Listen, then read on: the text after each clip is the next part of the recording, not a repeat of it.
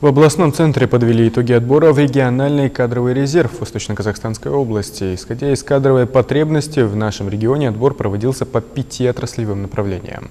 Индустрия и промышленность, экономика и финансы, социальная сфера, жилищно-коммунальное хозяйство и инфраструктура, агропромышленный комплекс и земельные отношения. Подробнее об итогах отбора рассказал руководитель Департамента Агентства Республики Казахстан по делам государственной службы по ВКО Нурлан Еркибаев в ходе брифинга.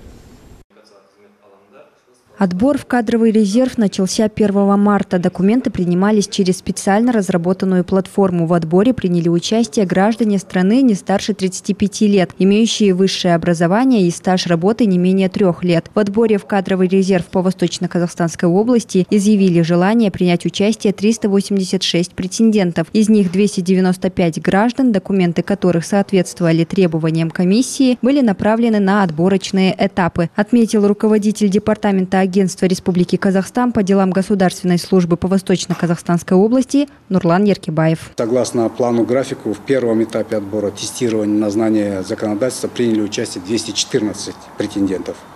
Из них 109 претендентов, набравших более высокие баллы, направлены на оценку личных качеств.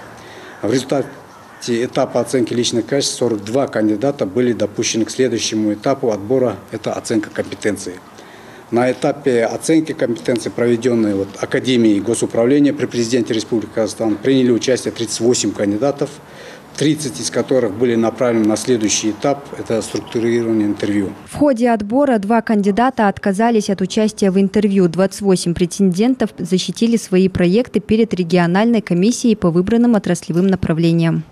Решением кадровой комиссии по итогу в региональный кадровый резерв Восточно-Казахстанской области – отобрано 20 кандидатов. Э, кроме того, хочу здесь добавить, что по условиям правил гражданам, которые дошли до заключительного этапа отбора в президентский молодежный кадр резерв, но не зачисленные в президентский резерв, на основании своих заявлений э, было предоставлено право быть зачисленным э, в региональный резерв без отбора.